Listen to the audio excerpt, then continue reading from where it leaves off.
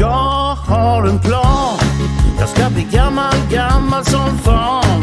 Jag ska leva livet och ha kul förstås. Och jag ska äntligen få släppa loss.